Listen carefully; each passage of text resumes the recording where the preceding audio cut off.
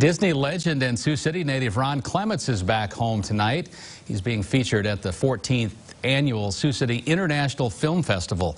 But before that, he returned to his alma mater, Bishop Heelan. KCAU 9's Jacob Russo was there and talked to the former Channel 9 employee turned Disney animator.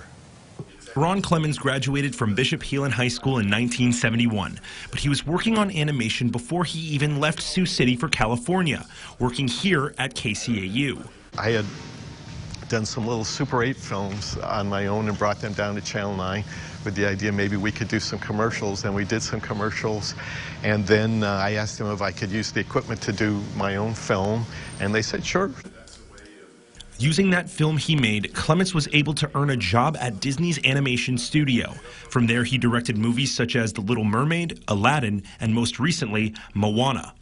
Clements was at Heelan today to talk to art classes and share his story. It's the first time he's been to Sioux City in more than a decade. It's very, very nostalgic for me to be back. I, I was just um, in, uh, in the room where I, I uh, took art classes at Heelan. Clements also visited with preschoolers, answering their questions and even drawing a few pictures for them and signing their books based on his movies. The films that we make are meant to be um, films for everybody and, and they're films that, that um, I think we're for all ages and, and for people everywhere, and, and we want those films to resonate. The film festival will be showing Moana at the Orpheum, the very theater Clements watched Disney movies in his childhood before he would impact millions of childhoods across the world with his films. In Sioux City, Jacob Russo, KCAU 9 News.